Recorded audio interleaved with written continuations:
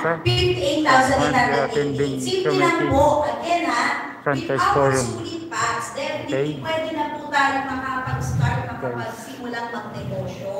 Magbigyan ko po kayo ng example. Ito yung aming negosyo ngayon, online franchising. Ayan.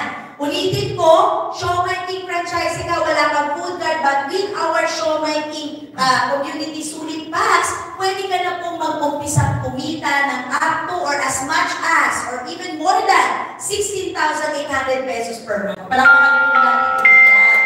Bakit? Bakit ganun kalaki yung potential earning Miss Jocelyn? Eh kasi pwede ka na mag-start mag-supply sa mga mini-marts, di ba? Mga local mini-marts, eh magiging kliyente nyo yan. Sino pa? Yung mga sari-sari stores, pwede po kayo mag-supply niyan. Yung po mga local madiskarte yan. Tama po ba? Sa lagyan ng sipag kasi kahit po yung mga kapitbahay natin, nasa subdivision ka, nasa condo ka, or normal na community, pati po yan magiging mga suki mo na.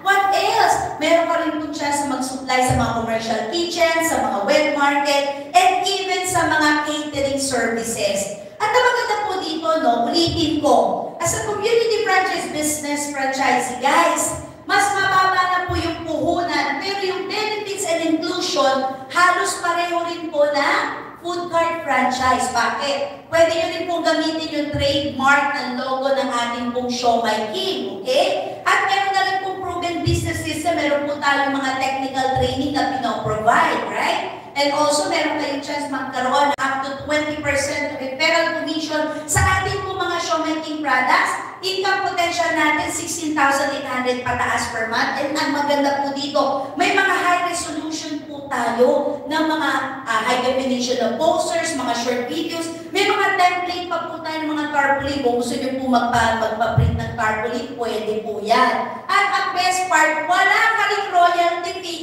at wala ka rin renewal fee. So, the same pa rin po yung uh, benefits and inclusion. Only this time, mas bumaba na po ang puhunan. So, maganda po ba yun? Sobrang ganda. Napakaganda po yan. Ito ha, focus on the screen. Magkano ba yung potential earnings mo no, na projected pag kayo po ay naging community franchisee? Meron din po tayong low category, no? pareho rin sa food cart. Let's say, matumal, 20 packs per day ang nabibenta mo. Times 30 days ang total potential earning nasa 17,000 mahigit. Sa medium sales, ito yung medyo mas sinisipagan mo, lumakas ka talaga. 25 per day, no? Per ano, packs natin per day. Multiplied by 30 days, pwede kang kumita ng 21,000 pataas per month. At kung talaga tuloy-tuloy yung ganda ng potential earnings sa business, sa high sales, no? Let's say, nasa 30 packs per day. Yun po yung binibenta-bebenta mo na per day. Times 30 days, guys, ang potential earning mo per month, pwedeng umabot ng more than 26,000 pesos. Maganda ba yung income na yan? Sino dito yung gusto ng ganyan income per month? 26,000. Pwede na. Panalo na. Tama po ba?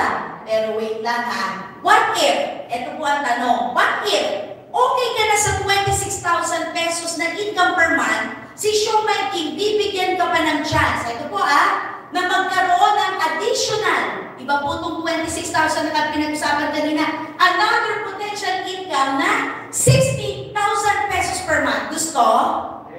Gusto natin yan kasi 26 plus 60, nasa 80,000 na per month yun. Paano yan, Miss Jocelyn? O magandang negosyo rin to ha, kasi bakit? Ang maganda po dito, mura din po yung negosyo ito na connected kay Show My King. Pero, hindi mo rin kailangan maglakad, maglabas ng malaking kapital. Pwede rin po kayo no, makakuha ng special privilege today.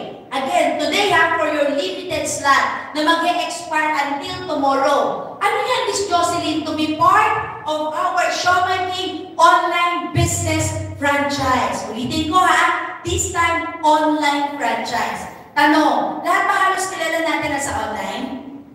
Tayo ba madalas na sa online? Tayo ba po-order sa online? Pwede ba tayo magpa-order sa online? Ngayon ba sa araw-araw na ginagawa natin yung online, karugtong na ng buhay natin? Yes! So, ibig sabihin, pag nagnegosyo ka sa online, pwede kang kumita ng malaki sa online? O, yun po yung ganda ng Show King online business. O, palakpakan po natin yan. So, paano naman itong Show King online business na to? Ulitin ko. Pwede kayo maging Show King online franchisee sa halaga 58 pesos. Kanina, community franchising, tama, 58,000. Ngayon, shopmaking online franchising, 58,000. The same po ang benefits and inclusion. Pero tingnan nyo to guys ha, pwede kang kumita rin. Using your online shop, magkakaroon po kayo ng online shop, parang online tindahan. Meaning to say, yung mga sulit packs natin nasa online shop. Kung dyan ka nagbebenta, let's say you share, you post, bahala na po yung company magpa-deliver sa mga products na orderin sa inyo. Ang maganda po dito, pwede kang kumita per month, 13,000. Kung medium sales, pwede umabot ng 34,000 pesos per month. At kung talagang malakas na malakas na ang benta, high sales, pwede umabot pa yan ng up to 60,000 pesos per month. Panalo? Of course! At ang maganda dyan, para community, wala kang binabayarang pwesto, wala kang binabayarang taluhan. O sino dito gusto magkaroon ng showmaking online franchise as a kamay? Imagine mo, you share, mag-share and post ka sa mga social media, and then bahala na ang company from packaging to inventory to delivery. Ang sarap mag-showmaking franchise. Now, ang tanong, eto na. What if may bibigay pa kami sa inyong good news? Gusto niyo pa ba? Ma, parang hindi na naubos yung good news. Ganon sa showmaking lagi, good news. O sabihin po natin, good news. Eto na. You are so blessed, guys, kasi nga may exclusive privilege kayo for today, ha? For today. Kaya kailangan mag-design kayo ng maayos kasi until tomorrow po, meron kayong exclusive privilege. And this is the good news. Yung po gusto ninyong negosyo na community franchise at saka po yung online franchise, two-in-one business, instead na separate ng 58,000, pwede na lang namin sa inyo ibigay ng 58,000, dalawa na yung negosyo nyo. Two-in-one. Maganda? Of course. O sino dito may 58,000? Taas ang kamay. Sa, oh, isa. Isa. Para biglang bumaba. Ma, 58,000, two-in-one business na. Wala pa. Ako, napaka-alis. Palakpakan natin si Ma'am. Palakpakan natin. Okay. Dahil sumagot si Ma'am ng wala, okay? Papakita ko sa inyo ha, bakit kailangan magawa nyo ng paraan. Kasi bakit? Pag two-in-one business po yung naging business ninyo, tingnan nyo guys, sa low sales, dahil combine na yung pwede mo mabentahan, ulitin ko ha, pwede ka magbenta sa community, pwede ka magbenta sa online. Magkaiba po yan, tama?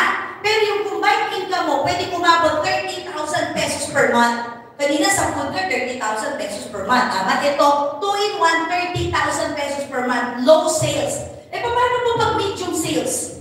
May benta ka sa online mo, may benta ka rin sa community. Kung may income, pwede umabot ng more than 50,000 pesos per month. Magandang income? Of course! O now, ito maganda. Paano kung high sales?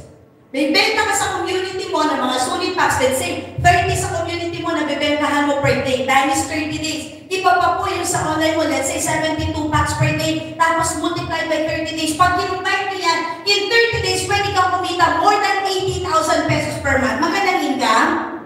Again, 2 in 1 for your special privilege, 58,000 na lang. Pero ito kayo na magandang tanong. Kasi nga, gusto-gusto nyo na magkaroon ng 2 in 1. Sino sa inyo, maging honest ha, ang gusto yung 2-in-1 concept at kumita